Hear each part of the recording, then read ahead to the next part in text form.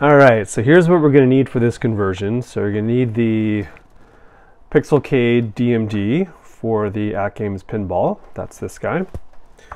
And you're to need a front Plex cover. So that's this. And then from your original hardware, you need this little bracket piece. And then we already took out our exciters. That's these guys and then that D-pad. So I took apart that D-pad. It's right here, and I'll show you how to reassemble that one. And then you also need a glue gun as well. All right, so let's get going. So first thing is we're going to take this bracket and just put it right on the top. And you just want to line up the holes. So just like that. And the hardware is included, so we're just going to pop this guy here. Take a little hex nut.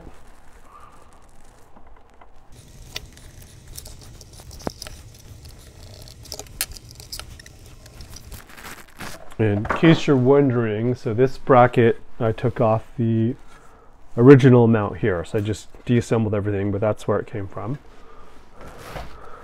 So we got our bracket on here. And that's basically what we need for this piece. So let's set this aside. And oh, actually, we do need one more thing. So let's go get ahead and get our glue gun ready. What we're going to do actually is glue these exciters on this guy. So if you turn it over, I actually included uh, maybe a little hard to see on the camera, but that's exactly where the exciters are going to go. So just look for the engraving for the circles, and that's where these guys are going to go. Okay, so the way this is going to go in is it's going to set in like this. So therefore you want your exciters, this is the top part, so you want your exciters on the bottom. And so again, just look for those holes here, just where those circles are, make it nice and easy. Oops. I think what I'll do as well is I'll get out my heat gun. Okay, so I got my heat gun here. I would say this step is optional, but what I'm going to do is, is when I took these off, there's a little kind of existing... On here, I'm just going to heat it up, kind of reuse some of that glue. Again, probably don't really need to do that, so you could skip this step.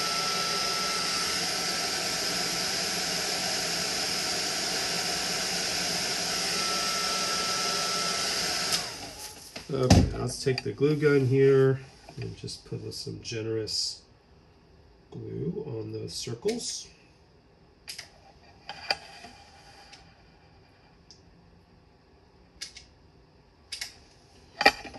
Okay, and then glue dries pretty quickly, so let's hurry up. Take one here right on that circle. I've just press down. Take the second one right here. Let's press down.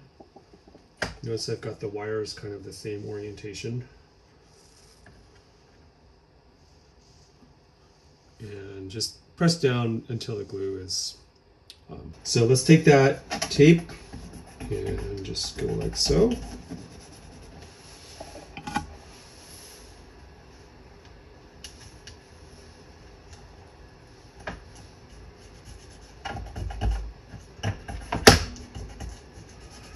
All right, so we're done with this piece. This is the power cable for the DMD. That goes with a 5 volt 10 amp power supply. And then this is, of course, the cable for our exciters. I guess we could clean this. So we'll clean that up later. Maybe do a little tie wrap. So that's what this looks like from the bottom and the top. Again, this is just going to slide like so. And then you see these screws here. Those will line up with the existing screws on your AtGames pinball so you don't have to re-drill any holes. All right, so now let's take care of that D-pad. So the whole, the way this is gonna work is this is gonna go on the bottom And then this is going to cover and then diffuse those LEDs and the D-pad is going to go right here. So what we'll do first is we'll take off the masking off this guy. This is acrylic, so it scratches pretty easy. So just be careful. That's the whole point of the masking.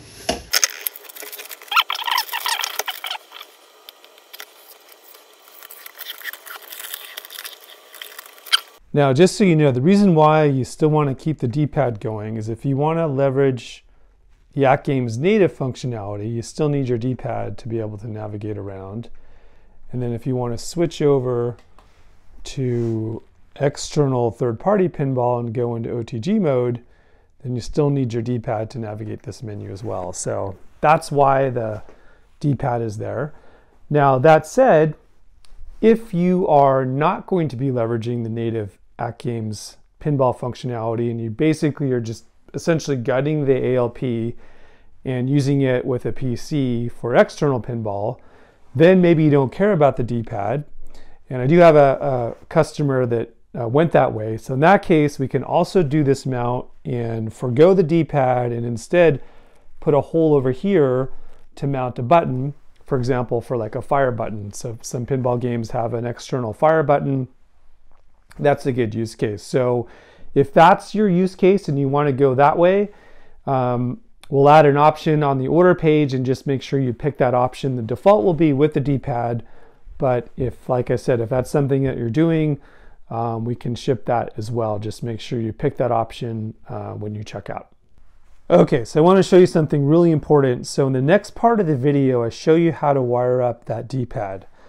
Now, as I was filming that, I actually made a mistake and I wired it upside down. So I want to show, I later fixed it, which I didn't show that in the video. So I just want to show you how the correct orientation should be. So in the, in the video you're going to watch, you're going to see the D-pad.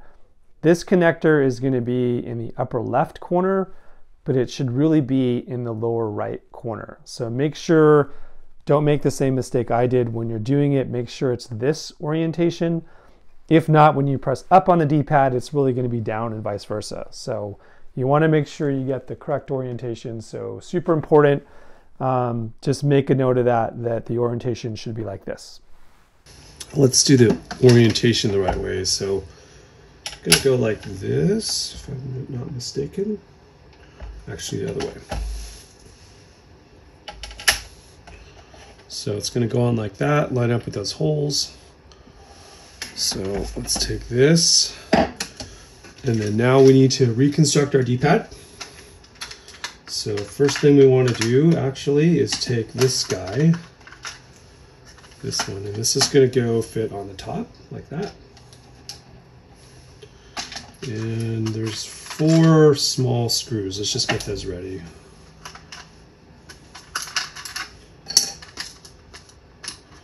One, two, maybe four. Okay. Screwdriver. So let's go ahead and take this, flip it over.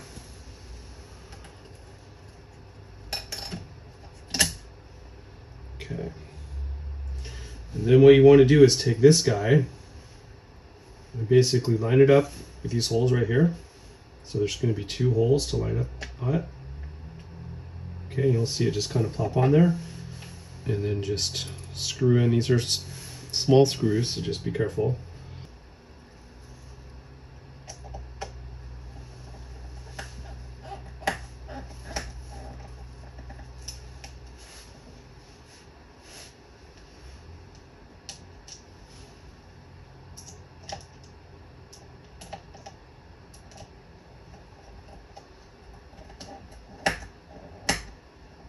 And just be careful not to strip these screws. Easily strip them. And so basically now you've got this piece attached, like so.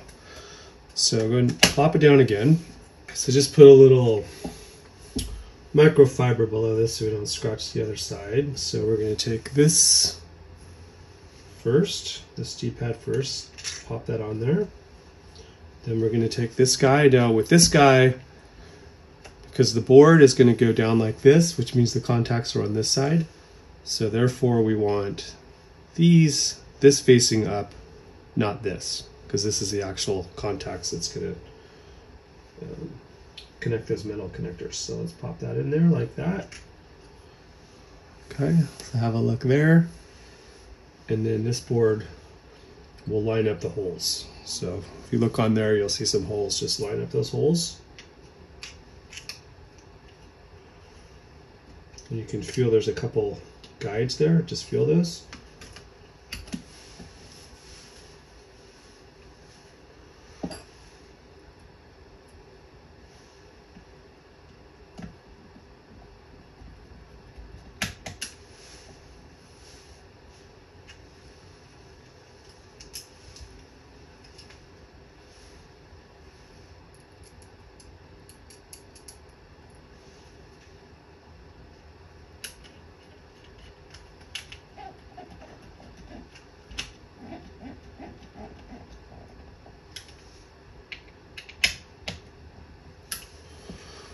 Okay, so there's your D-pad. Just press it to make sure it has a good feel to it. Yeah, that actually feels pretty good. So this is the top piece. Got my D-pad on there. This is the bottom piece. Now we can go over to the ALP and finish the install. All right, so now we're going to install our DMD for your AtGames Legend pinball. Now I've already cheated and I've already uninstalled the original one. So this is here, you notice I've taken the D-pad off already. I've taken this part apart. So that is that one. And then before we put on the new DMD control panel, which is going to be this guy, and then this is our top cover, which we'll put on at the end. We need to get our wires ready. So this is the D-pad connector. This is the exciters that we that we reattached. This is the USB cable that Pixelcade is going to plug into. That's plugged into our PC. Now I could use, there actually is a USB cable that comes with the AtGames. So if I wanted to have this hooked up to my AtGames native, I could use that USB cable. But in this case, I'm mostly going to be doing third-party pinball, so I'm going to use separate USB going to the, the PC. And then lastly, we need power for our Pixelcade. So basically these four connectors here, let's just kind of put them to the side. Now let's grab our control panel. So while we got it, let's just connect what we need. Okay, so there's your USB connection. We need power. So let's connect the power here. I'll kind of set this down very gently. Okay, so there's our power. Gonna put that back. Um, D-pad, we're gonna need that, and then the exciter, might as well connect that right now. So remember, we took those exciters from the original one and we put them here. So let's take those connectors, which are here. And this is an easy one, only goes in one way. There we go. Okay, and we'll save this one for later because that's going to go on the top. So we'll just go like this and we'll just line up the holes. So this is all laser cut. So try to make this as easy as possible for you guys. So just plop that on here. And then now it's just a matter of lining up the holes on each side. And again, we're, we're keeping this because we're going to need this the D-pad connector, which is coming next. So let's take those original screws and just screw them in nice and easy.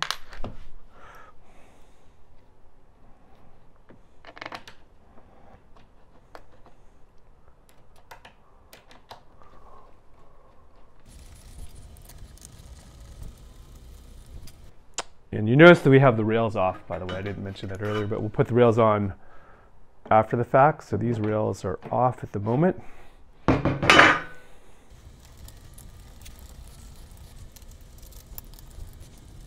Okay, got those guys in. Now we're going to take our top. This is basically going to diffuse the LEDs. And then this is where we want to plug in our D-pad to. So let's just do that right now.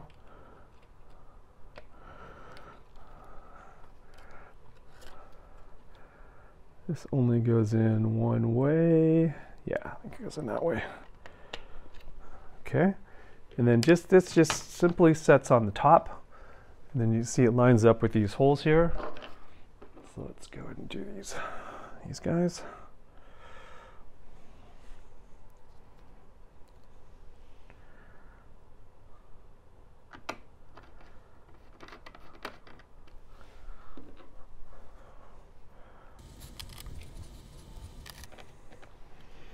Before I attach the side plates, let me just do a quick test, make sure everything's good. All right, so now if you look at this guy, my lighting is not the greatest right now, so sorry about that. But if you then take these side plates, you'll see they line up quite nicely with the DMD. So nice and clean installation there. So let's go ahead and attach these guys. And I think the way this works is we need to do the sides first. So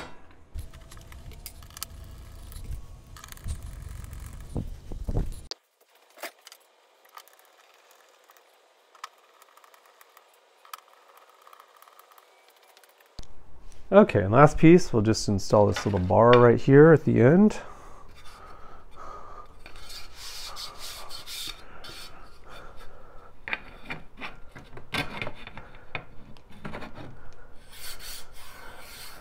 And these holes should line up, so you don't need to do any changes. They'll just line up for you.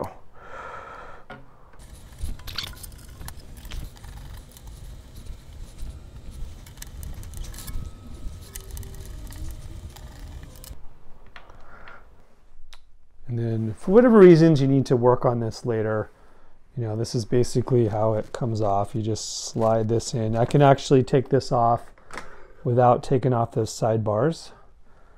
And then once you're done working on it, just reattach the screws.